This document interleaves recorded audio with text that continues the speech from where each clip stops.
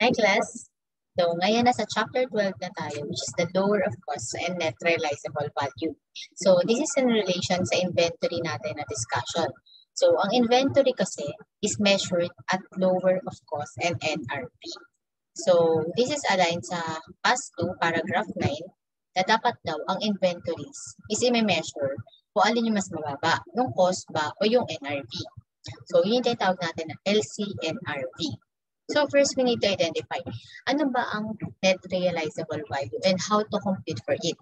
So ang NRV, ito yung magkano ba natin mabibenta, estimate na mabibenta yung inventory natin.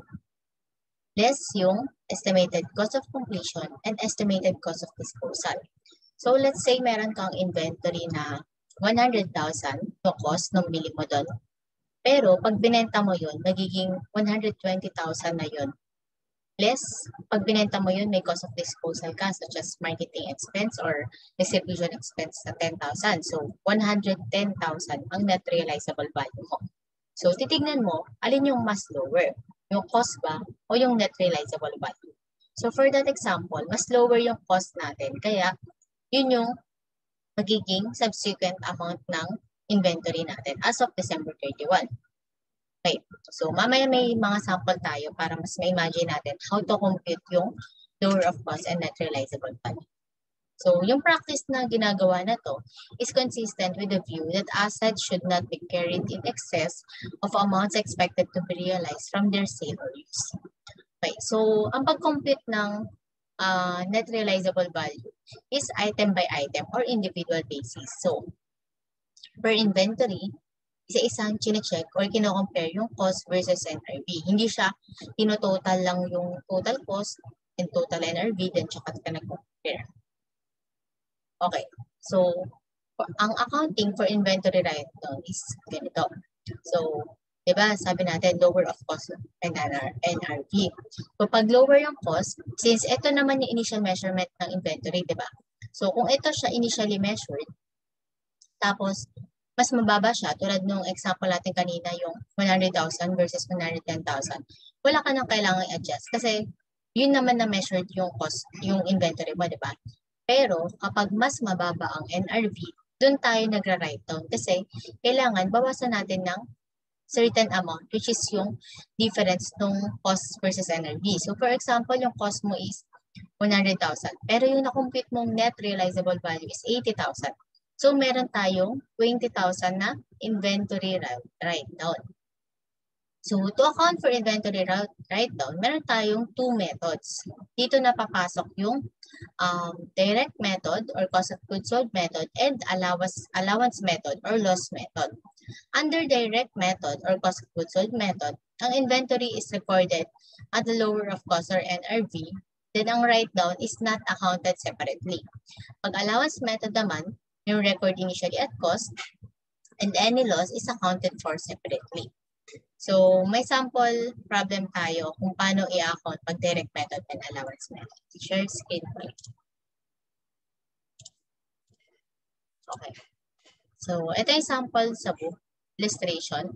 So, meron tayong uh, inventory A to G, which, which is categorized category 1, 2, 3. Ang total niya is 8 million. Ang total ng NRV is 8.1. Ito yung sinasabi na dapat item by item natin kino-compare which is lower, yung cost ba o NRV. So, per item, tingnan natin, kunyari ito, 110,000 versus 100,000. So, ang cost na dapat, ang LCNRV is 100,000. So, dapat ang inventory A is measured at 100,000.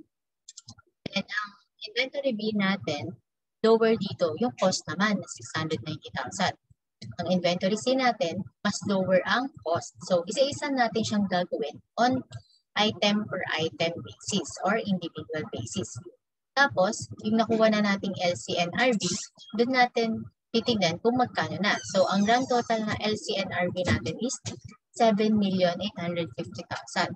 So, yun ang ating lower of cost and NRV. So, ito compare mo yan ngayon, 8 million versus yung 7,850. So, 8 million na 7,850, meron tayong i-write down na 150,000. So, sabi natin, pag direct method, i-record natin at lower of cost or NRV. So, i-record natin at 7,850,000. Inventory, then direct sa cost of goods sold. So, the loss on inventory write-down of 150 is not accounted for separately. So, nakapasok na agad siya dito, yung 8 million minus 7,850. Hindi na pinasok, hindi na pinakita yung 8 million and yung 150,000 separately. So, ganito yung magiging pro forma entry. Pero pag allowance method, ipinapasok muna natin at cost, 8 million, then tsaka natin na reflect yung loss in on inventory write, write down. So, the loss on inventory write down is included in the computation of cost of goods sold. The allowance for inventory write down is presented as a deduction from inventory. So, pag tinanong, ang NRV is 7,850. Ang cost less allowance. So, tinawag siyang allowance method kasi nagre-reflect separately yung allowance. Unlike dito, sa direct method na 7,850 agad.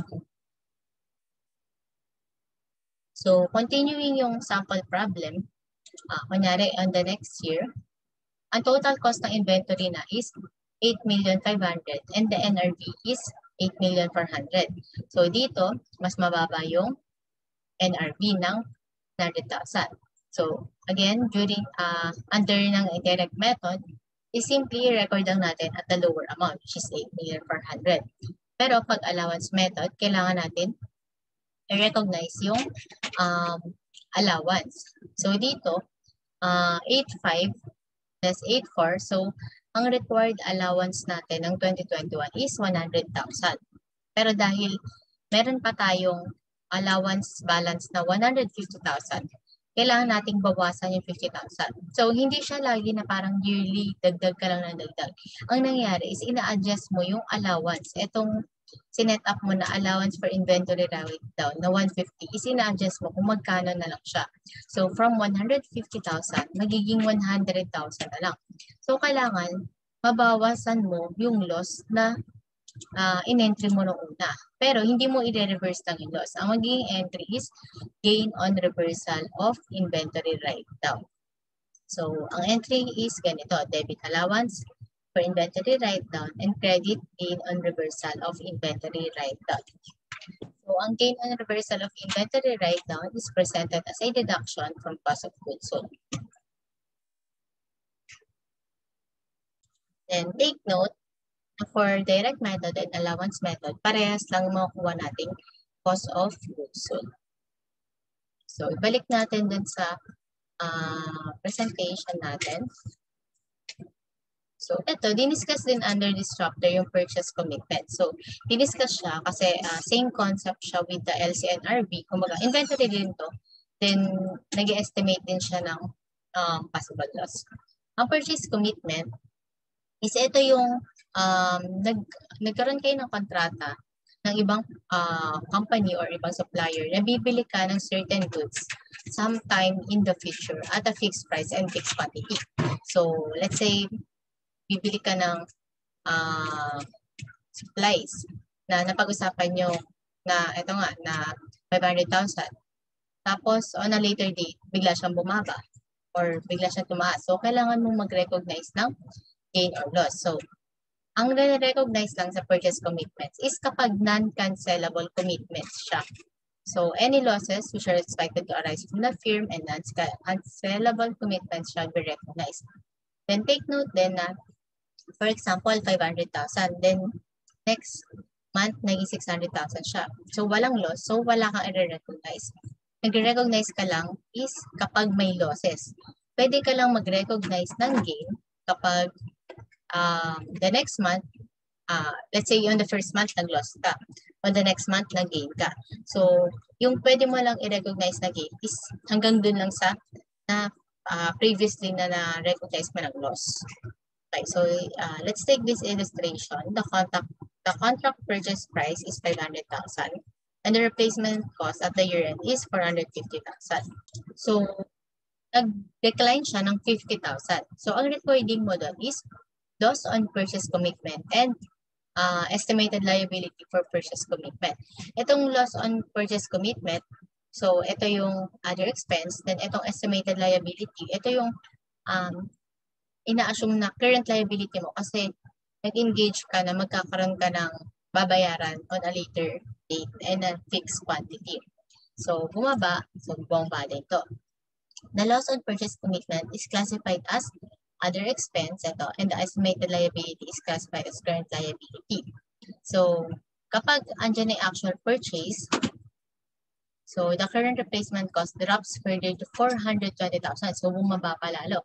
So, magre-recognize ka pa ng another loss from 450 to 420, so 30,000.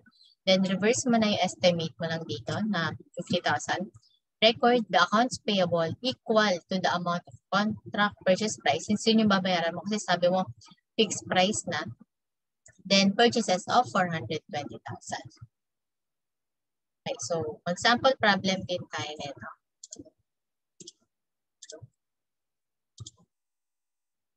12-7. So, itong problem na to is sample ng um, purchase commitment. So, noong November 15, yung company nag-enter sila into a commitment to purchase 100,000 barrels of aviation fuel for 55 per barrel on March 31. So, nag-agree sila na magbabayad sila ng 5,500,000. Pero noong December 31, naging 50 pesos na lang. So, magre-recognize ka ngayon ng loss on purchase commitment equals to equal to 500,000 which is yung difference no um, agreed mo versus yung price niya ngayon. Then, credit sa estimated liability. Noong March 31 naman, merong um, 100,000 na 54 pesos na lang siya. So, 5,4 So, from 5.5, naging 5 million, naging 5.4. So, first, ito sure tayo. Kahit ano mangyari, babayaran natin at uh, fixed price na 5.5. Then ngayon, nagkaroon ka ng gain na 400,000 kasi um, from 5 million, naging 5.4. So, may gain ka ma-recognize. Take note na yung gain is, ang limit mo lang is 500,000 which is yung previous loss mo. Then next, estimated liability for purchase commitment to 500,000, i-reverse mo. Then 5,4 yung purchases mo. So, ganyan yung recording natin kapag um, purchase commitments. Next sample, 12-11. So, ito, uh, si GEM Company measured inventory at lower of cost and net realizable value. Then, meron siyang markers, pens, and highlighters. So, first, take note na dapat separately and hindi total. Individual mo kukuhanin anin ang lower. So, binigyan ka ng historical cost. So, yun yung cost mo. Binigyan ka ng selling price. Yun yung estimated selling price. Less cost to complete. Di ba? Yun yung formula natin. Less cost to complete and less cost to dispose or to sell. Kaso nga lang dito, wala namang sinabing cost to sell. So, ito, hindi mo rin ito makukuha dito kung ano cost to sell. So technically, ito lang yung kailangan mong data. So pag pinag-deduct mo, makukuha mo ang net realizable value mo. Then ngayon, i-compare mo, alin yung mas lower. So for marker, ang mas lower is yung cost niya. So yun yung LCNRV niya. For pens naman, mas lower din yung cost. Pero kay highlighters, mas lower yung NRV. So pag pinag-plus mo yun, yun yung measurement ng inventory mo. So, letter A. Yan. So, medyo madali lang to since, uh, or hindi sa madali, maikli kasi uh, we're talking about lang kung paano mo ba subsequently i-measure, which is measure the inventory at lower of cost or NRP. So, take note na ang inventory ay dapat individually tinitignan every December 31 kung uh, lower na ba yung NRV niya versus cost. So, para ma-assess mo kung magkakaroon ka ba ng inventory write-down. So, yung inventory write-down natin can be accounted as ng direct method or allowance method. Pero usually, allowance method ang ginagamit. Okay. So, lastly, uh, share ko ulit yung screen. Required disclosures. So, sa financial statements, kapag nag uh, ano tayo na inventory, required na i-disclose natin yung policies adopted. Cost formula used, carrying amount ng inventories, carrying amount of inventories na mga carried at fair value, then mga recognized as expense, yung mga write-down ng inventories, and any circumstances to, that led to reversal of write-down of inventories. Nyari, ito, nag-write down ka, sabi mo, ganito na lang yung NRV. Bakit siya biglang nagkaroon ng gain? Bakit siya biglang reverse? Bakit siya biglang tumaas? Anong circumstance yun? So, that uh, information shall be disclosed in the financial statement. Next is carrying amount of inventories pledged as security for liabilities. So, kapag pledge yung inventory mo, kailangan mo rin i-disclose sa financial statements. So, ayan. That's all for LC and RV. So, hope na natuto tayo ngayon about the subsequent measurement of inventories. Thank you.